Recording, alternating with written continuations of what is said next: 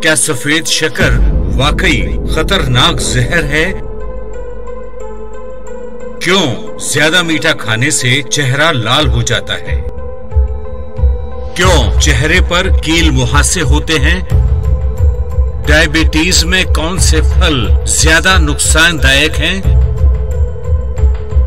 शकर से जुड़े ये सवाल कई हैं। जवाब है एम की ये short film be alert be conscious जहर तो खामखा ही बदनाम है।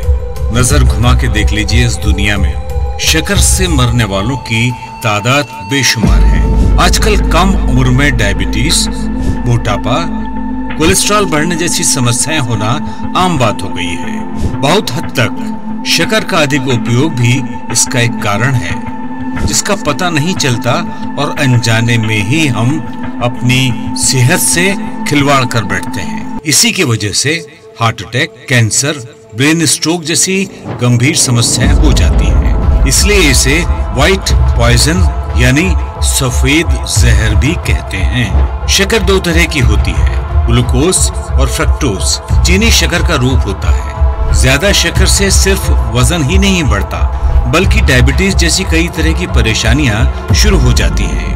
अधिक फ्रक्टोज फैट में मिला होता है। तो इसकी कुछ मात्रा खून में चली जाती है, जो हृदय रोग का कारण बनती है।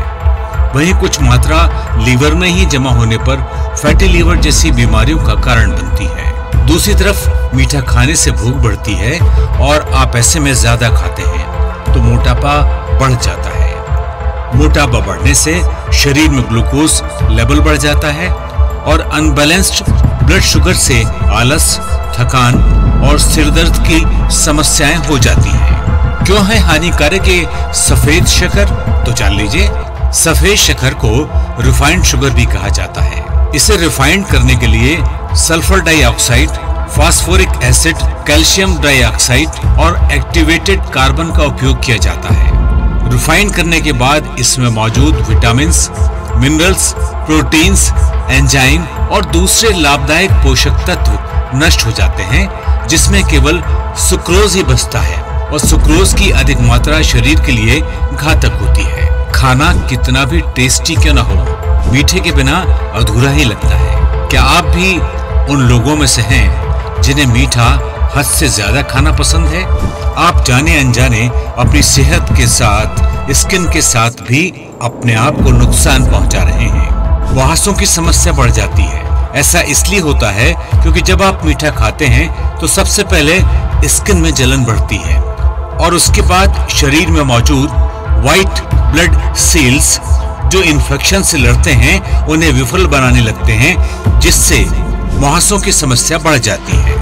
क्यों बढ़ रही है शकर की खपत? ये सवाल हमारा हमसे ही होना चाहिए। हम लोग ज़्यादा शक्कर क्यों खा रहे हैं? इसकी एक प्रमुख वजह तो यही है कि हमारे शरीर के लिए ऊर्जा के तौर पर शक्कर एक सस्ती और सुलभ है। अमेरिकी फ़ूड एंड एग्रीकल्चर ऑर्गेनाइजेशन के मुताबिक, भारत में शक्कर आम लोगों के साधन का ज़रूरी पदार्थ और गरीबों के लिए ऊर्जा का सबसे सस्ता साधन है। मीठा अगर आप अधिक खाते हैं तो आपको कैंसर हो सकता है। डब्ल्यूएचओ के मुताबिक ये सलाह दी जाती है कि बुज़ुर्गों और बच्चों को अपने कुल एनर्जी इनटेक में चीनी की मात्रा 10 प्रतिशत से कम रखनी है। डायबिटीज़ से जुड़े फल और मरीज़। डायबिटीज़ के जो लोग फलों का सेवन करते हैं, बस उन्हें ऐसे फलों का चुनाव करना होगा जिनमें लो शुगर कंटेंट होता है। इसमें खास बात तो ये है कि ज़्यादातर फ्रूट्स बेरीज कैटेगरी के होते हैं। या फिर साइट्रिक एसिड से रिच होते हैं। इस कारण इन्हें खाने से डायबिटीज़ के मरीजों को टेस्ट मिलता है और शुगर लेवल में रहता है। साइट्रिक एसिड से भरपूर फ्रूट्स स्किन के लिए बहुत अच्छे होते हैं, यानी कि सेहत के साथ साथ स्किन केयर भी हो जाती है। अब जान लीजिए लो शुगर फ्रूट्स को। हर व्यक्ति को सीमित मात्रा में ही शुगर लेनी चाहिए। लेकिन डायबिटीज़ के मरीजों को इस बात का खास ख्याल रखना चाहिए कि उन्हें कौन सा फल कितना खाना है, जिससे उन्हें पोषक तत्व मिल सके। अगर आप डायबिटीज़ के मरीज़ हैं, लेकिन मीठे के दीवाने हैं तो अब आपको परेशान होने की ज़रूरत नहीं। हम आपको कुछ ऐसे फलों के बारे में बताते हैं, जो खाने में तो मीठे लगेंगे, लेकिन इससे आपका ब्लड शुगर नहीं बढ़ेगा। पहला नाम है संतरा। संतरे में विटामिन सी भरपूर मात्रा में पाया जाता है। संतरा खाने से खून में ग्लूकोज ही नहीं बढ़ता, बल्कि संतुलित रहता है। एक संतरे में केवल 12 ग्राम शुगर और 70 कैलोरी होती है। कीवी और ब्लैकबेरीज के फ़ायदे। खट्टी मीठी कीवीज खाना हर किसी को पसंद होता है। यह हमें इंस्टेंट फ्रेशनेस देती है। इसका कारण ये है कि विटामिन सी से भरपूर होती है। इसमें शुगर की मात्रा काफ़ी कम होती है। यहाँ तक कि शुगर पेशेंट हर दिन एक कीवी आराम से खा सकते हैं। ब्लैकबेरी भी शुगर के मरीजों के लिए बहुत फ़ायदेमंद फ्रूट है, क्योंकि ये टेस्टी होने के साथ ही एंटीऑक्सीडेंट से भरपूर होता है। सेब और एवोकाडो, एक एवोकाडो में शुगर की मात्रा एक ग्राम होती है। सेब के जूस में भरपूर शुगर होती है। दिन में एक सेब आराम से खा सकते हैं।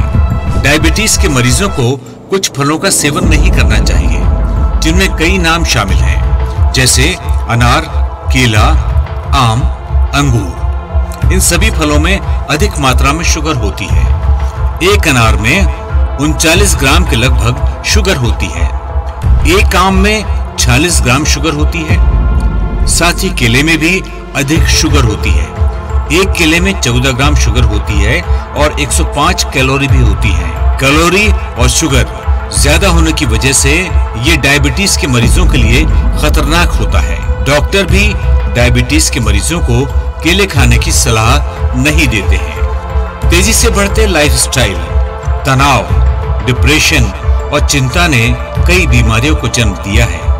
उन्हीं में से एक गंभीर बीमारी है डायबिटीज़ डायबिटीज़ तेज़ी से पनपने वाली ऐसी बीमारी है, जिसने कम उम्र के लोगों को अपना शिकार बना लिया है डब्ल्यू के मुताबिक, आज दुनिया भर में करीब 422 मिलियन लोग डायबिटीज़ से पीड़ित हैं।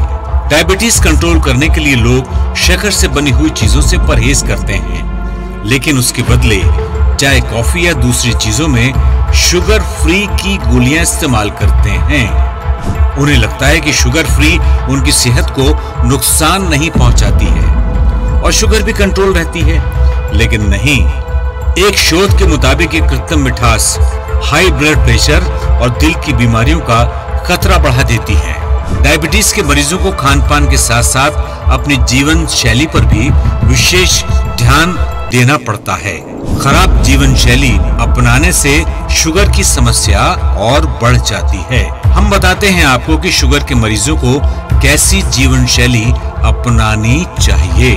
आप रोज़ाना सुबह आधा घंटा ज़रूर टहलें। रोज सुबह और शाम को कुछ देर व्यायाम ज़रूर करें और शराब और धूम्रपान से परहेज करें। डायबिटीज़ को नियंत्रित रखने के लिए आप कुछ योगासन करते हैं, जिनके नाम हैं सर्वागासन उत्तान पादासन हलासन नौकासन सेतु बंधासन मत्स्यासन, इन आसन को करने से आपको डायबिटीज़ जैसी बीमारियों से जल्दी मुक्ति मिल सकती है।